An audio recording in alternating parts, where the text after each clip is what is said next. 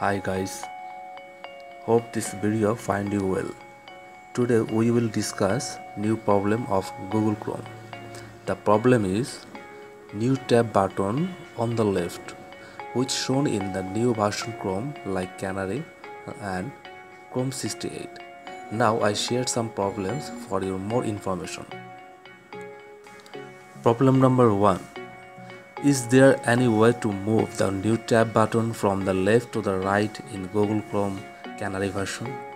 Or having it on the left makes absolutely nonsense.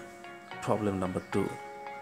Once you switch to refresh with the curved tabs it moves to the far left corner. But I would like to see if there is any way to move it back to the right of the farthest tab within without getting rid of the new refresh look. If you got into the Chrome user interface and change user interface layout for the browser's top Chrome to the refresh, it changes the look of the tabs and replaces what you circled with a plus button all the way to the far left corner. Uh, now we're going to the solve the problem. And first of all we need to install the google canary. So i am now downloading the google canary and installing in my pc it takes more time because my net is very slow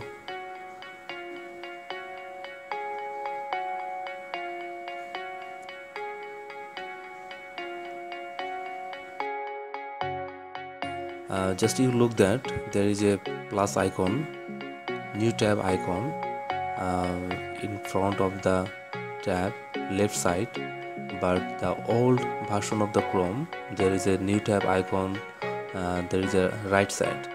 So this is the problem. Uh, many friends they request how to solve this problem. So now i'm going to uh, show you how to solve this problem.